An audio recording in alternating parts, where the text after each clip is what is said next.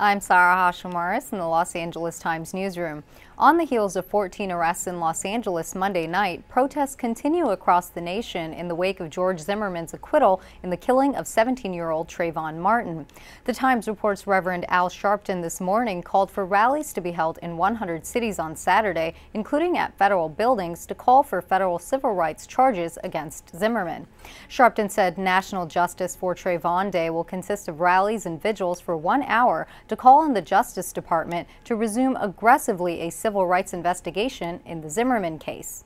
There's a lot to question and go on. If the family goes with a civil suit, Mr. Zimmerman will have to testify. He will face that.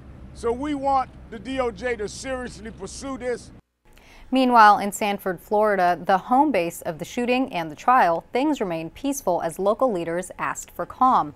Sharpton also said he plans to drive to Sanford next week to deal with the stand your ground law in Florida and 29 other states.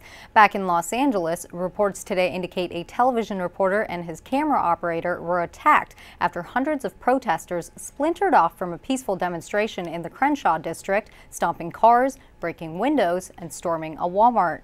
LAPD Chief Charlie Beck said police would be much more strict in handling future protests, but did not elaborate on the new tactics. For more on the story and other trending headlines, visit latimes.com and for the latest on Twitter, check out at LA Times.